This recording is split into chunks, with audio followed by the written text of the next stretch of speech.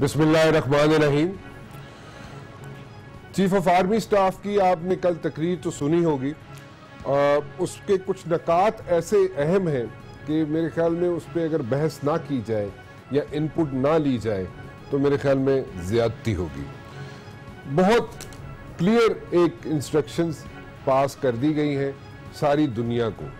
Instructions का word मैं इसलिए यूज़ कर रहा हूँ कि बिल्कुल खुल के सारी बातें सामने रख दी गई हैं कि अगर इवन आफ्टर लाइक 40 इयर्स अगर हमें यही बातें सुननी है तो मेरे ख्याल में जो अफगान महाजरीन हैं, जो 40 लाख के लगभग हैं, उनको हमने कई सालों से अपने पास रखा, बड़ी इज़्ज़त से रखा, और मेरे ख्याल में अब वक्त आ गया है कि इज़्ज़त व आबरू के साथ उन्हीं अफगान महाजरीन को वापस जाना चाहिए। It's high time that they should go back to their own country अपने मुल्क में वापस जाएँ। किसी भी मुल्क में, दुनिया के किसी भी मुल्क में आप देख लें कि वहाँ पर 40 लाख 40 लाख लोग किसी और मुल्क से आके आबाद हुए और अगर हुए तो कैसे हुए? ये हमारा ही दिल गुर्दा था जो हमने उनको इतने आराम से रखा, उनको यहाँ पे अपने सीनों से लगा के रखा उनको। लेकिन मेरे ख्याल में अब उनके जाने का वक्त आन पहुँचा है। कई मरतबा हमने उनको जनाब एक्सटेंशन दी डेडलाइंस दी एक्सटेंशन दी, वो सिलसिला चलता रहा, लेकिन मेरे ख्याल में अब उनको जाना ही पड़ेगा। दूसरी बात यह है कि हमारा बॉर्डर जो है अफ़गानिस्तान के साथ, वो एक पोरस बॉर्डर है। और पोरस बॉर्डर को हमने फेंस करने का इरादा कर लिया है। चीफ ऑफ़ आर्मी स्टाफ ने बड़े वाजे तौर पे इसका जनाब, इजहार भी कर दिया है कि जनाब उसको हम फेंसिंग करेंगे उनकी और जहाँ जहाँ पे ज़रूरत पड़ेगी, वहाँ पे पोस्ट भी बनाई जाएँगी ताकि सारी नज़र रखी जाए और जब मेक्सिको पे वॉल बनाई जा सकती है तो फिर अफ़गानिस्तान और पाकिस्तान के बॉर्डर पर क्यों नहीं? सो ये बहुत ज़रूरी था और मेरे ख्याल में इसकी ज़रूरत थी और उस पर बिल्कुल वाज तौर पर चीफ ऑफ़ आर्मी स्टाफ ने कह दिया। और जो वहाँ पे ऐसे जगह मौजूद हैं जो कि अफ़गानिस्तान के अंदर है और वो वहाँ पर बैठ के और पाकिस्तान के अंदर अगर दहशत गर्दी कर रहे हैं तो उन पर कार्रवाई अगर किसी ने करनी है तो मेरे ख्याल में अमेरिका को चाहिए कि वो पहले वो जो जगह है, वो जो वहाँ पे स्पॉट्स हैं, उनको सॉर्ट आउट किया जाए अफ़गानिस्तान के अंदर, फिर किसी और की बात की जाए। किसी और की जंग लड़ने का वक्त अब ख़त्म हो गया, क्योंकि अगर हमने यही सुनना है कि जनाब आप क्या कर रहे हैं? या हमें वार्निंग्स देनी है। या हमारे ऊपर जनाब कोई ना कोई तलवार लटकती रहेगी। तो मेरे ख्याल में बड़ी क्लियर तरीके से चीफ ऑफ़ आर्मी स्टाफ ने सारी बातें जो है वाजे कर दी मैं सिर्फ़ और सिर्फ़ अफ़गानिस्तान को इसलिए कंसंट्रेट कर रहा हूँ कि अफ़गानिस्तान में जो इश्यूज़ है, आपने देखा होगा अफ़गानिस्तान और पाकिस्तान के अंदर कुछ घर ऐसे भी हैं कि पाकिस्तान में उनका सहन है और उनका जनाब जो बैकयार्ड है वो अफ़गानिस्तान के अंदर है। लेकिन फिर भी हमें अब ऐसा टाइम आ चुका है कि हमें उसको एड्रेस करने की ज़रूरत है, हमें उसे टेक कर करने की ज़रूरत है और मेरे ख्याल में अब नहीं तो फिर कभी भी नहीं। मैं इन चीज़ों पे चाहूँगा ये कि रोशनी डाली जाए और रोशनी इस तरीके से डाली जाए जो पहले शायद आपकी नज़र से ना गुजरी हो। सो इसलिए मैंने मधु किया है जनाब शहजाद चौधरी साहब को। मेरे ख्याल में उनसे अच्छी इनपुट कोई नहीं दे सकेगा मुझे, और आप भी उनसे अच्छी इनपुट नहीं सुन सकेंगे, कोई और शख्स नहीं दे सकेगा इससे बेहतर इनपुट शहजाद चौधरी साहब को मैंने मधु किया है। शहजाद चौधरी साहब thank you very much for joining me joining me ji welcome जी वेलकम शहजाद चौधरी साहब मैं सिर्फ़ और सिर्फ़ क्योंकि चीफ ऑफ़ आर्मी स्टाफ ने कश्मीर पे भी, के बारे में भी बात की उन्होंने अफ़गानिस्तान के बारे में बात की लेकिन मैं सिर्फ़ और सिर्फ़ जो आ, बात करना चाह रहा हूँ इस वक्त वो फेंसिंग की बात करना चाह रहा हूँ। अफ़गानिस्तान के अंदर जो अड्डे हैं वहाँ से बैठ के जो कार्रवाइयाँ दहशत गर्दी की होती हैं पाकिस्तान के अंदर उसके बारे में बात करना चाह रहा हूँ। और चीफ ऑफ़ आर्मी स्टाफ ने बड़े खुल के कह दिया कि जनाब दुश्मनों की गोलियाँ ख़त्म हो जाएँगी, यहाँ पे सीने ख़त्म नहीं होंगे और हम आखिरी वक्त तक लड़ेंगे। और उनको मेरे ख्याल में इससे बेहतर जो वार्निंग है आई वुड से नहीं दी जा सकती। और इतनी कमिटमेंट के साथ, कि कमिटमेंट भी है हम लोगों में और हम लोग पीछे हटने वाले नहीं हैं। So what do you say about this one कि चीफ ऑफ़ आर्मी स्टाफ ने मेरे तो ख्याल में बिल्कुल वाज पॉलिसी अफ़गानिस्तान की बयान कर दी है। ऐसे ही है शहजाद चौधरी साहब? जी मैं मैं समझता हूँ कि देखिए बड़ा इंपॉर्टेंट एलिमेंट है उस चीज़ का जो कि हम एज ए स्ट्रेटेजी लेके चले हैं। लोग कहते हैं ना नैरेटिव नहीं है। नैरेटिव होना चाहिए बयानिया नहीं है बयानिया हमारा कंफ्यूज है। कोई कंफ्यूजन नहीं है। मैं समझता हूँ ऑपरेशनल कॉन्सेप्ट के अंदर बहुत क्लैरिटी है और बिल्कुल उन्होंने एक फौजी कमांडर वाली गुफ्तगु की और बिल्कुल वाजी अल्फाज में बताया कि इसके दो हिस्से हैं। एक रदुल फसाद है खैबरपुर अभी हमने किया। रदुल फसाद जारी और सारी है। उससे पहले जरदर्ज कर चुके हैं। तो सीरीज़ ऑफ़ ऑपरेशन है जो कि अंदर की जो गंद है, उसकी सफ़ाई के लिए पाकिस्तान की फौज ने लॉन्च किया, पाकिस्तान की मिलिट्री ने लॉन्च किया। और फिर सरहदों पे कुछ ऐसे इलाके जो रह गए थे, जो कि मुश्किल जिनको समझा जाता था, उनकी भी सफ़ाई बहुत हद तक हमने राजगाल और शवाल वगैरह के अंदर कर दी है। इसके अंदर भी एक ज्वाइंट मिलिट्री ऑपरेशन हुआ, जिसके बाद ये। और दूसरा हिस्सा वो था कि जहाँ से यहाँ पर हम पे शिकायत लगाई जाती है कि जी, आप अपनी सॉइल को क्यों इस्तेमाल होने देते हैं? यहाँ से आपके हकानी आके विज़िट करते हैं, यहाँ पे रहते हैं और फिर जाके जंग। देखिए, हकानी जंग उधर करते हैं, पाकिस्तान में नहीं करते। यहाँ उनके बीवी बच्चे ज़रूर हो सकते हैं, जिस तरीके से आपने कहा, चालीस लाख अफगान यहाँ पे मौजूद है, कैंपों में मौजूद हैं, उनके लोग आते हैं, उनके काफ़ी सारे लीडर्स शायद आते होंगे, उनके बच्चे अभी भी रहते हैं, पिछले तीस तीस, पैंतीस पैंतीस साल से उनके बच्चे यहाँ मौजूद हैं। तो क्या करें? उनको बंद कर दें, रस्ते बंद कर दें, उनको बच्चों को अलहदा कर दें माँ उनके वालदेन से वालिद जो है उनसे मिलने ना दिया जाए। तो मेरा ख्याल है उसका एक दूसरा हिस्सा उन्होंने बड़ा इंपॉर्टेंट टच किया कि अब वक्त आ गया है कि आप अपने महाजरीन को यहाँ से ले जाइए। हमने जितना उनकी करनी थी आवभगत कर ली है क्योंकि उनकी वजह से हमें बहुत बुरा नाम उठाना पड़ रहा है कि हकानी कभी आता है कभी कोई फलाना शूरा का आता है कभी कोई आता है। वो आएँगे उनके बच्चे यहाँ पे हैं वो कैंपों के अंदर मौजूद हैं उनको बात सूरत यहाँ से नहीं आना चाहिए और उनको ले जाए यहाँ से। तीसरा क्वांटिटी भी बैठा हुआ है। अगर आप उसको कंट्रोल नहीं कर सकते तो फिर मेरे पास दो ही रस्ते हैं। या मैं खुद जाकर उसको तबाह कर दूँ या उसका रास्ता बंद कर दूँ। तो मैं फ़िलहाल तुम्हारी सॉवरेंटी को वायलेट नहीं करूँगा खुद डायरेक्ट अटैक नहीं करूँगा लेकिन मैं उसके ऊपर बाढ़ लगा के उसका रास्ता बंद करना चाहूँगा। तो ये दो अवामिल हैं जो कि जंग पाकिस्तान के अंदर जो है उसको पाया तकमील तक पहुँचाने के लिए ज़रूरी है। तो मेरा ख्याल है ये बड़ा वाज पैगाम था और ये दोनों ही उस स्ट्रेटेजी का हिस्सा है जो कि आर्मी और मिलिट्री लेके चल रही है। बिल्कुल सही कहा आपने। मैं एक एक दो कमेंट्स में ज़रूर सुनाना चाहूँगा। तकरीर के कुछ थोड़े से हिस्से हैं मैं आपकी सामने ज़रूर रखना चाहूँगा शहजाद चौधरी साहब। ज़रा क्लिप्स दिखाइएगा जी। एक पहला क्लिप दिखा दीजिएगा चीफ ऑफ़ आर्मी स्टाफ का। इन तमाम कोशिशों बेबहा कुर्बानियों और दो दहाइयों पर मुहित जंग के बाद आज हमें कहा जा रहा है कि हमने दहशत गर्दी की आफरियत का बिला तकफरी तकरी तफरी मुकाबला नहीं किया। खातिन हजरात, अगर पाकिस्तान ने इस जंग में काफ़ी नहीं किया तो फिर दुनिया के किसी भी मुल्क ने कुछ नहीं किया। क्योंकि इतने महदूद वसाइल के साथ इतनी बड़ी कामयाबी सिर्फ़ पाकिस्तान का ही कमाल है। ऑपरेशन शेर दिल से लेकर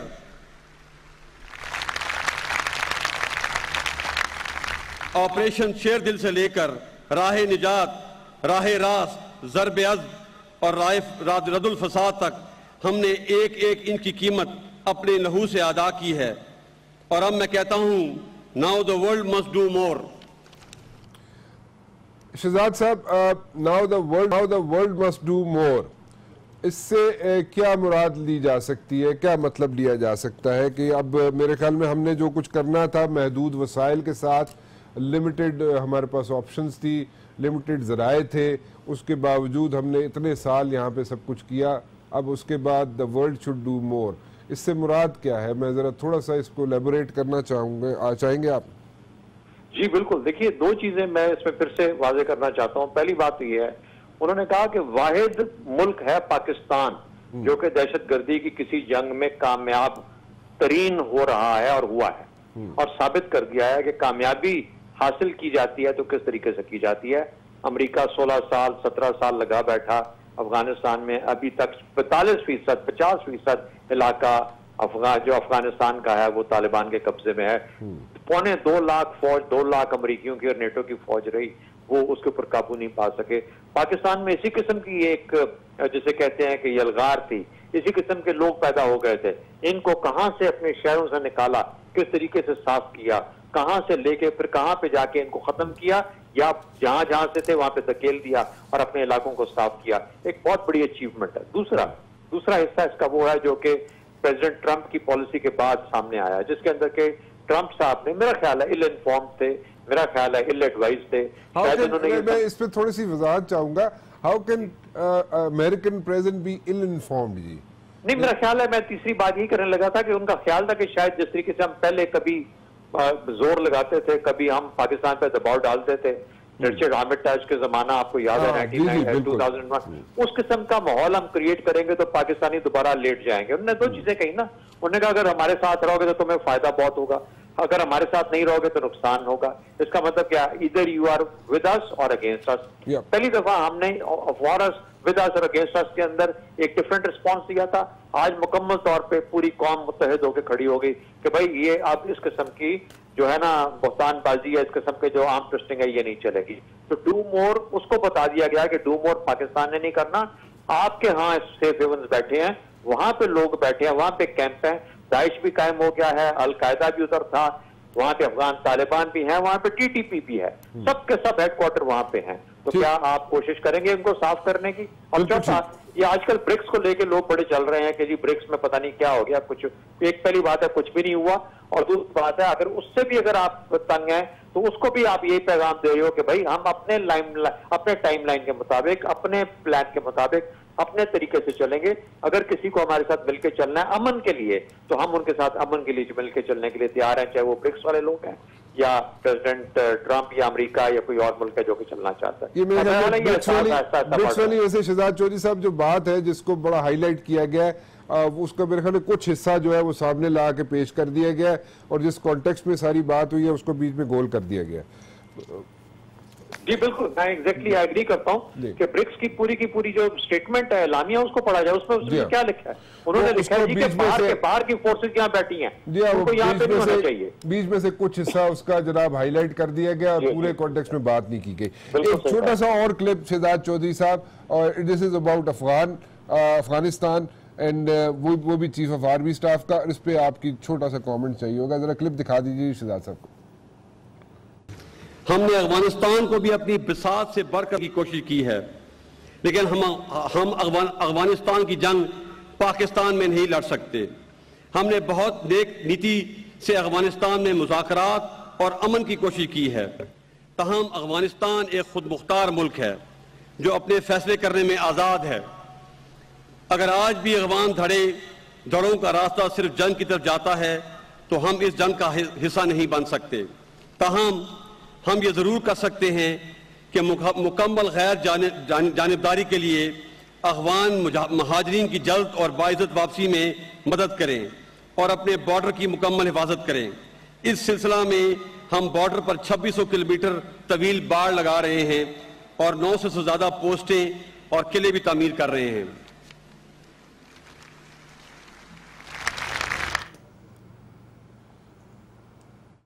ज़मीन को किसी मुल्क के खिलाफ इस्तेमाल नहीं होने देंगे। और हम दूसरों से भी ये तो रखते हैं कि जिन दहशत गर्दों ने मगरबी सरहद के पार पनाह ले रखी है, उनके खिलाफ जल्द और मौसर इकदाम होंगे। जी शहजाद साहब, उसी चीज़ पे आगे पोरस बॉर्डर है, लेकिन फिर भी 2600 किलोमीटर की बाढ़ बनाई बाढ़ बनाई जाएगी और 900 के जायद पोस्टें बनाई जाएँगी। इसमें मैं सिर्फ़ सवाल ये करना चाहूँगा, मेरा एक क्वेश्चन है इसके बारे में, इसमें कितना वक्त दरकार होगा? नहीं वक्त तो लगेगा। वक्त लगेगा मुश्किल ट्रेन है और मुश्किल महँगा काम है कोई आसान काम भी नहीं है पाकिस्तान जैसे मुल्क के लिए। लेकिन एक चीज़ याद रखें भारत ने पूरा पाकिस्तान का बॉर्डर फेंस किया है। पाकिस्तान ने कोई उस पर कोई शोर नहीं मचाया तो अब अफ़गानिस्तान को भी नहीं चाहिए कि वो शोर मचाए। ये उनकी सेफ्टी के लिए भी है उनकी भी हिफाजत के लिए। लेकिन मैं एक छोटी सी बात मुझे इजाज़त दीजिए क्रक्स ये है पूरी की पूरी चीफ ऑफ़ आर्मी स्टाफ की तकरीर का। कि अफ़गानिस्तान की जंग अब पाकिस्तान में नहीं लड़ी जाएगी। हम नहीं लड़ेंगे। जिसको जंग लड़नी है अफ़गानिस्तान की, वो अफ़गानिस्तान में लड़े और जो अफ़गानिस्तान में बैठे हैं, वो लड़े। पाकिस्तान नहीं लड़ेगा उनके बिहाफ पे। ये क्रक्स है पूरी की पूरी स्ट्रेटेजी का। मैं मैं फिर दोबारा इस चीज़ पे, एक और चीज़ मैं सामने लाना चाहूँगा। ठीक है, आपने जवाब दे दिया इसमें थोड़ा अरसा लगेगा फेंसिंग में। लेकिन मैं एक चीज़ जो पूछना चाह रहा हूँ, वो ये है कि देखें ऐसा है इलाका, ये सारा आप मेरे से बेहतर समझते हैं कि किसी घर का सहन जो है पाकिस्तान में और बैकयार्ड जो है अफ़गानिस्तान में तो वो how will we manage that जी मेरा ख्याल है कि ऐसी जगहों पे पोस्ट बनाई जाएँगी ऐसी जगहों पे Okay. किले बनाए जाएँगे। जो मैनेज करेंगे कोऑपरेशन क्रिएट होगी दोनों साइड्स के ऊपर और दोनों साइड मिलकर ज्वाइंटली इसको पेट्रोल करेंगे तो ऐसी ही जगहों के ऊपर जो है ना हमारी प्रेजेंस होनी चाहिए ठीक है। शिदात चौधरी साहब thank you very much for joining me जी बहुत बहुत शुक्रिया आपका। चौधरी साहब मेरे साथ मौजूद थे और मुझे कुछ क्वेश्चन आ रहे हैं साथ साथ के the question is that I hope the world does not respond by saying or thinking of thinking that our do more is that we put our forces in Pakistan and we can clean the so-called centuries. Anyways this is a question जी शहजाद चौधरी साहब को मैंने अलविदा कह दिया लेकिन बहरहाल this is a question which is a very important question send by one of the one of my viewers जी. आ, लेकिन जाते ब्रेक लूँगा एक ब्रेक के बाद वापस आएँगे ब्रेक पे जाने से पहले मैं एक चीज़ ज़रूर बताना चाहूँगा कि रेफरेंसेस की बात की थी हमने और रेफरेंसेस के बारे में आज से कुछ मेरे ख्याल में दो रोज़ पहले शायद हमने बताया था कि जनाब कि नैब के जो रेफरेंसेस हैं, वो तैयार हो चुके हैं मियाँ नवाज़ शरीफ साहब के ख़िलाफ़, और वो किसी वक्त भी पेश कर दिए जाएँगे, लेकिन उस पर बहुत सी आवाज़ें उठ रही थी कि जो वो तैयार हो गए हैं, पेश होंगे लेट हो गए हैं, चलेंगे, लेकिन मैंने प्रिसाइसली बताया था कि जनाब वो पेश हो जाएँगे, कुछ ही अरसे में वो पूरा प्रिसाइज किया था। वो क्लिप दिखा दीजिए, क्योंकि उसके बाद मैं ब्रेक पे जाऊँगा ब्रेक पे वापस आऊँगा तो मैं अपने पैनल मेरे साथ जो लोग और मौजूद हैं, उनसे भी गुफ्तु करूँगा, और मियाँ नवाज़ शरीफ साहब जो है, इन रेफरेंसेस के बाद उनकी क्या स्टैंडिंग होगी? पहले ज़रा क्लिप दिखा दीजिए, जो हमने पहले जिसका ज़िक्र कर दिया था, जो पहले ही हमने बयान कर दिया था, वो दिखा दिए ब्रेक के बाद वापस आके हम कानूनी राय भी लेंगे और पोलिटिकल पॉलिटिशियंस भी मेरे साथ मौजूद हैं, वो भी अपनी इनपुट देंगे एक ब्रेक के बाद। पहले क्लिप जी। नैब के रेफरेंसेस जो है, मियाँ नवाज़ शरीफ साहब के खिलाफ, वो किसी वक्त भी तैयार हो जाएँगे, बल्कि ऐसा कहना गलत नहीं होगा कि वो ऑलरेडी तैयार हो चुके हैं। आखिरी नोक पलक उनकी ठीक की जा रही है। और वो किसी वक्त भी वक्त आइंदा एक दिन में या दो दिन के अंदर अंदर अदालत में पेश कर दिए जाएँगे।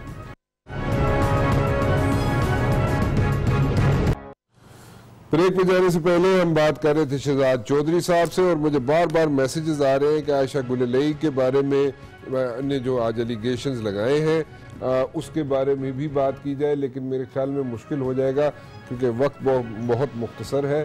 और उस पर मैं, मेरे ख्याल में फिर एक अलग प्रोग्राम कर लूँगा, जो मेरे व्यूअर हैं, वो मुझे बार बार कह रहे हैं कि इसके बारे में मैं बात करूँ, लेकिन मैं उनसे ही गुजारिश कर रहा हूँ कि मैं फिर उस पर किसी वक्त बात कर लूँगा। लेकिन फ़िलहाल मेरे साथ बैरिस्टर फ़ैरूक नसीम साहब मौजूद हैं डॉक्टर क्यूम सुमरो साहब मौजूद हैं पीपल्स पार्टी से इनका ताल्लुक है, जान अचकजई साहब मौजूद हैं, और इन सबसे मैं इनपुट चाहूँगा, जो रेफरेंसेस तैयार होके मियाँ नवाज़ शरीफ साहब के ख़िलाफ़ पेश कर दिए गए हैं। वो कानूनी क्या उसका तरीक़ाकार होगा, उस पर क्या होगा? और मैं उससे पहले कि मैं कानूनी तरीक़ाकार पूछूँ मैं एक चीज़ आपके साथ शेयर करना चाहता हूँ। ये फ़ोन मेरे पास है, डॉक्टर क्यूम सोमरो साहब का। मैंने हाईजैक किया है उनसे, जनाब। और डॉक्टर क्यूम सोमरो साहब ने एक एक क्यूम सोमरो साहब, ये आप निकालेंगे, आपका फ़ोन गायब हो गया। उसमें इन्होंने एक प्रिडिक्शन की थी। आज से आई वुड से कि कुछ माह पहले प्रिडिक्शन की थी उन्होंने, और उन्होंने कहा था जनाब कि उन्हें नवाज़ शरीफ साहब और इमरान खान साहब दोनों नाअहल होते हुए नज़र आ रहे हैं। ये मेरे ख्याल में इन्हीं का फ़ोन है जी, कोई सुमरों साहब ने मुझे दिया है ये, और इसमें इन्होंने ये बताई है कि इन्होंने ये प्रिडिक्शन की थी, और वैसे मैंने सुना भी था। उस शो में जिस शो में इन्होंने प्रिडिक्शन की थी उसमें क्यूम सोमरू साहब भी थे डॉक्टर हुमा बकाई साहबा भी थी और उन्होंने प्रिडिक्शन की थी प्रिडिक्शन की थी इन्होंने और उन्होंने कहा था जनाब के दोनों नाहल होते हुए नज़र आते इमरान खान साहब तो नाहल नहीं हुए लेकिन नवाज़ शरीफ साहब नाहल हो गए। ये कौन सी आपने यहाँ पे कोई तोते की फाल निकाली थी सोमरो साहब या क्या? हाउ वॉज़ इट मतलब आपके पास या कैसे बिस्मिल्लाहिर्रहमानिर्रहीम देखें पॉलिटिकल स्टूडेंट्स के ऐसे ऐसे हालात का तजिया करते हैं और हम्म। हालात ऐसे हो रहे थे जिससे अंदाज़ा लगाना मुश्किल नहीं था और बाय प्रोफेशनल मैं एक डॉक्टर भी हूँ हम्म। उस हवाले से भी अगर मतलब आपने अपनी डॉक्टरी इस्तेमाल नहीं अगर उस हवाले से मैं एक आपको मिसाल दूँ अच्छा। कि बहुत सारे डॉक्टर इतना उनको एक्सपीरियंस हो जाता है हाँ। कि अभी पेशेंट दरवाजे से इन नहीं होता हाँ। आप यकीन करें कि उस एक्सपीरियंस के ज़रिए हमें पता लग जाता है बगैर देखे बगैर इन्वेस्टिगेट करने कि ये पेशेंट क्या क्या सफरिंग फ्रॉम माफ़ कीजिएगा उस वक्त आप दो डॉक्टर बैठे तो उस एक आप डॉक्टर थे हाँ। और एक डॉक्टर हुमा बकाई साहिबा थी तो ये पॉलिटिकल हालात इस तरफ़ जा रहे थे हम्म। अब ये और बात थी कि मियाँ नवाज़ शरीफ साहब को या उसकी पूरी टीम को ये बात समझ में नहीं आ रही थी हम्म। जो हम बार बार कह रहे थे कि मियाँ साहब जिस दरख्त की टहनी पे आप खड़े हैं उसी को ही काट रहे हैं हम्म। तो यकीनन वो आगे जा करके गिरना है इसमें कोई ऐसी साइंस नहीं थी हम्म। या कोई खुदा रखा ऐसी कोई बात नहीं थी लेकिन वो बस एक सोच थी अच्छा। लेकिन मैंने उसमें दो बातें की थी हाँ। और ये बिल्कुल इस बात पे मैं आज देखें कम अज़ कम अल्लाह का शुक्र अदा करता हूँ कि मैं अपने पॉलिटिकल स्टूडेंट्स की हैसियत से क्योंकि अब जाहरी बात है कि मैंने जो बात की थी उन चंद हकायक पे बात की थी हवा में बात नहीं की थी असेसमेंट थी देखें इंफॉर्मेशन असेसमेंट आप जैसे दोस्तों से मुलाकात फिर उसके बाद हालात का तजिया करना जिसके बाद हतमी नतज पे आराम से बंदा पहुँच सकता था। तो मैंने उस वक्त ये बात की थी और उस वक्त ये सूरत हाल नामुमकिन सी नज़र आ रही थी। लेकिन इमरान खान साहब तो नायल नहीं हुए। इमरान खान साहब के लिए मैंने ये तो नहीं कहा था कि उसी दिन नायल होना है। मैंने कहा इन दोनों का अंजाम एक जैसे होना है। आज भी मैं इस बात पे कायम हूँ। दोनों का अंजाम। स्टेटमेंट दे रहे हैं दोनों का अंजाम। मैं मैं आज भी अपनी बात पे कायम हूँ कि जो मेरी सोच है देखिए मैं एक पॉलिटिकल वर्कर के से है कि ये हुए पेशेंट को बता दें कि जी आपको ये बीमारी लायक है। तो ये बीमारी लायक जो मियाँ नवाज़ शरीफ साहब को है हम्म। ये सेम जो है इमरान खान को भी वही बीमारी लायक है। एक का नतीजा आ गया है हाँ। और दूसरे का इंतज़ार है और आपके प्रोग्राम में इंशाल्लाह जब ये आ जाएगा हाँ। तो आप मुझे बुलाकर फिर पूछ लेना कि आपकी डॉक्टरी कहाँ तक पहुँची। ठीक है जी आपने डॉक्टरों से तो मुझे डरा दिया जी। दो डॉक्टरों ने बैठ के एक शो में ये प्रिडिक्शन की थी और मैं तो अब डॉक्टरों से थोड़ा मोहतात ही रहूँ तो बेहतर है। एनीवेज फरोग नसीम साहब। जी जनाब। आपका बहुत बहुत शुक्रिया। आप इस वक्त इस शो में तशरीफ़ लाए क्योंकि बहुत देर हो चुकी है। मेरे ख्याल में आप जल्दी सो जाते हैं। मुझे सिर्फ़ ये बताइए कि केसेस फ़ाइल हो जाते हैं रेफरेंसेस फ़ाइल हो जाते हैं। ठीक है जी? मियाँ नवाज़ शरीफ साहब के खिलाफ। आगे क्या होगा? मतलब हमें जरा कानूनी इसका बताएँ कि कानूनी तौर पे क्या आगे होगा। बी एस आपको जमानत करानी पड़ेगी केस फ़ाइल हो जाएगी। How will things work out जी? देखिए लीगली टेक्निकली स्पीकिंग तो बिल्कुल उनको जमानत करानी चाहिए। आ, वो नहीं जमानत कराते और अरेस्ट भी नहीं होते। इसका मतलब है कि क्या मतलब अरेस्ट क्या मतलब नहीं होते? मतलब नैब उनको अरेस्ट नहीं करती। दूसरे जो लोग हैं मतलब ऐसा हो सकता है कि अरेस्ट ना करे देखें ये तो आ, पाकिस्तान में तो यही होता है ना कि जो एग्जीक्यूटिव फंक्शनरी है हाँ।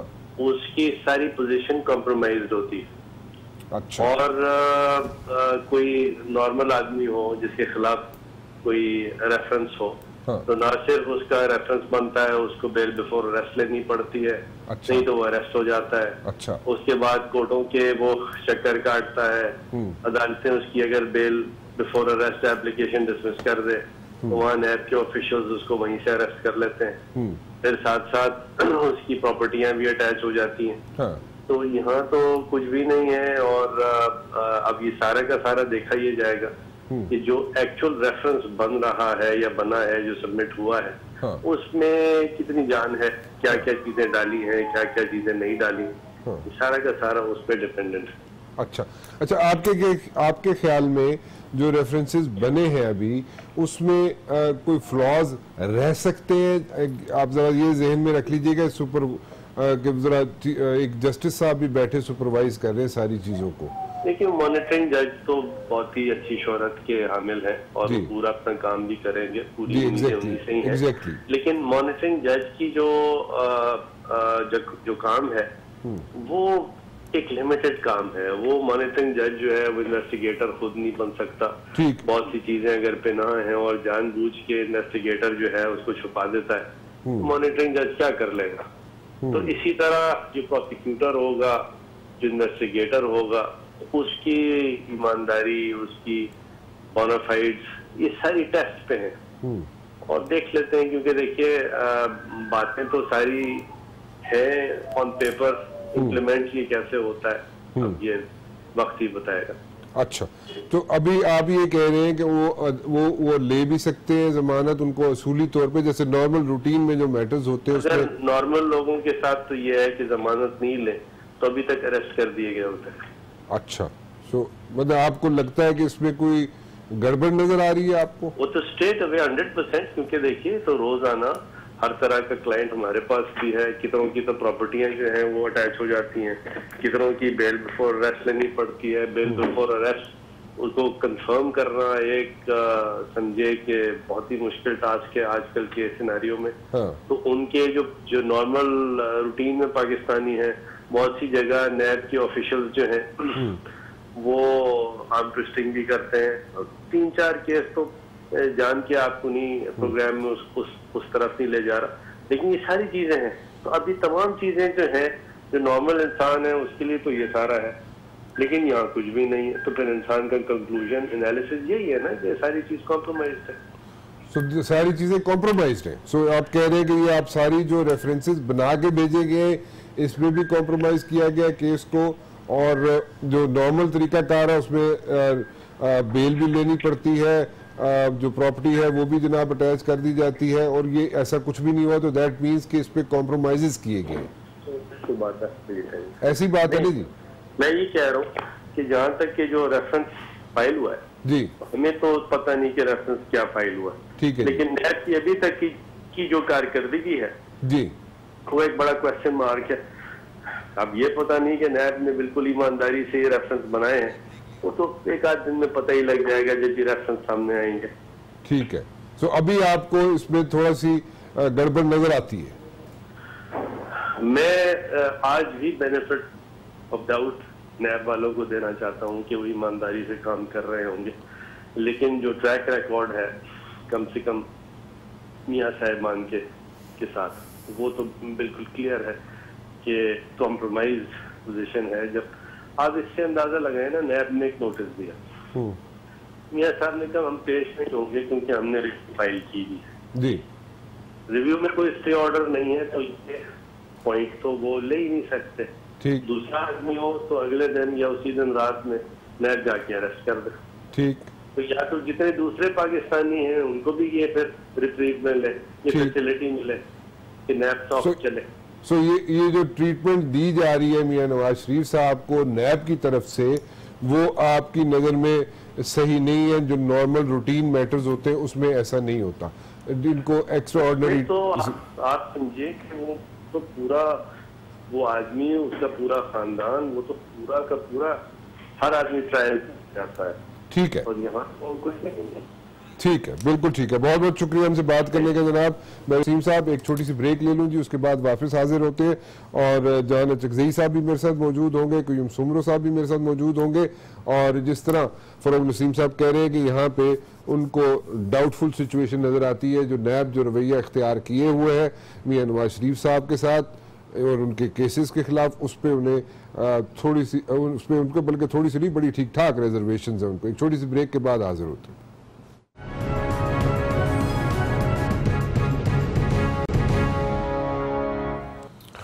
ब्रेक पे जाने से पहले हम बात कर रहे थे बैरिस्टर फरोग नसीम साहब से, और बैरिस्टर फरोग नसीम साहब कह रहे हैं कि उनको बहुत ज़्यादा एतराज़ात हैं और बहुत ज़्यादा कंसर्नस हैं कि जिस तरीके से रेफरेंसेस बनाए गए, वो तो रेफरेंसेस जब पेश होंगे तो तब पता चलेगा उन रेफरेंसेस में कितनी सच्चाई है या किस तरीके से बनाए गए हैं, उसमें सदाकत है या नहीं है।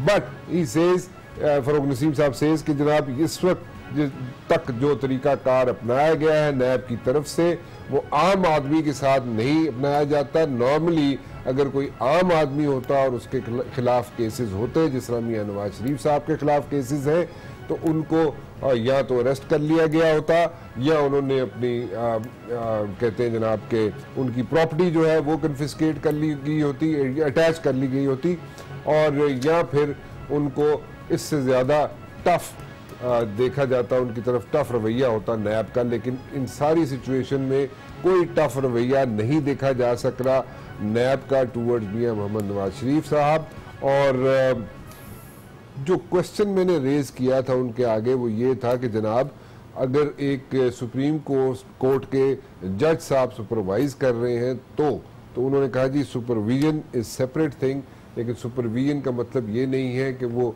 जज साहब कुछ इंटरफियर कर सकें किसी भी मरले पे। ये बताए कि उन्होंने इनडायरेक्टली उन्होंने इस बात को कोट किया कि जनाब रेफरेंसेस जो प्रिपेयर किए जा रहे हैं, उसमें सुप्रीम कोर्ट के जज साहब शायद उसमें इंटरफियर ना कर सके which is very alarming thing और ये बहुत बड़ी बात है जो कही गई है कि जनाब कोई उनको कोई नज़र नहीं आता कि कोई सही तरीका कार अपनाया गया है नायब की तरफ़ से टूवर्ड्स मियाँ नवाज़ शरीफ साहब।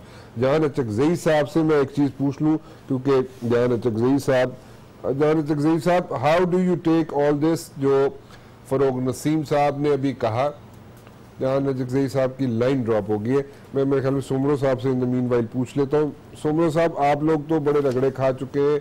आसिफ जरदारी साहब बहुत रगड़े खा चुके हैं।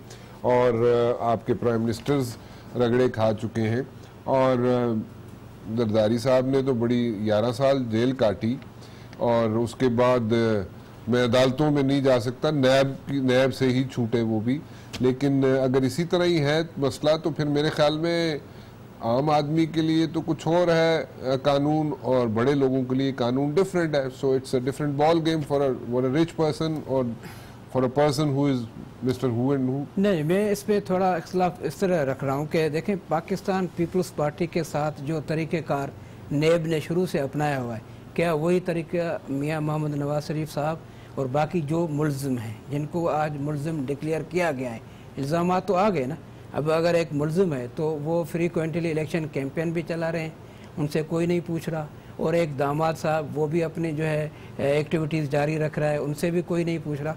लेकिन जहाँ पीपल्स पार्टी की बात है, वहाँ तो एक प्राइम मिनिस्टर वो अपनी ज़मानतें करके रोज़ अदालतों के चक्कर काट रहे हैं। और एक्स प्रेसिडेंट जो 11 साल उसने अपने ज़िंदगी के बेहतरीन साल एक जेल में गुजारे, और सत्तर, उन्नीस साल से, उन्नीस साल से तकरीबन तेरह के करीब केसेस भुगत भुगत रहे थे। और 19 साल के बाद जा कर के अदालतों ने मुख्तलिफ़ सालों के अंदर तमाम तर केसेस में बाज़त बरी किया।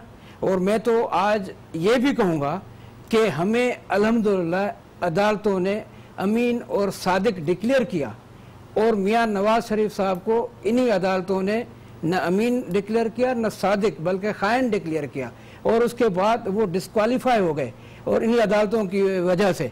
लेकिन अगर नेब का ये तरीके का रहा तो ये बहुत बड़ा सवालिया निशान नेब की कारकर्दगी पे ज़रूर रहेगा। और पाकिस्तान के 20 करोड़ अवाम ये पूछने का हक रख सकते हैं कि आखिर पीपल्स पार्टी के साथ तरीक़ेकार मुख्तलिफ़ क्यों है? पी एम एल एन की क्यादत के साथ क्यों मुख्तलिफ़ है? क्या वो प्राइम मिनिस्टर इलेक्टेड नहीं थे? क्या वो प्रेसिडेंट, इलेक्टेड प्रेसिडेंट नहीं था? क्या मोहतरमा बेनज़ीर भुट्टो साहिबा दुनिया की लीडर नहीं थी? उनके खिलाफ तो सब कुछ केसेस बना करके, उनको अरेस्टेशन से लेकर के उनकी बेलों तक जो है अदालतों के जो चक्कर काटने पड़े, लेकिन आज यहाँ मामला थोड़ा मुख्तलिफ़ है। लेकिन मैं ये ज़रूर उम्मीद रखता हूँ कि अगर इस तरह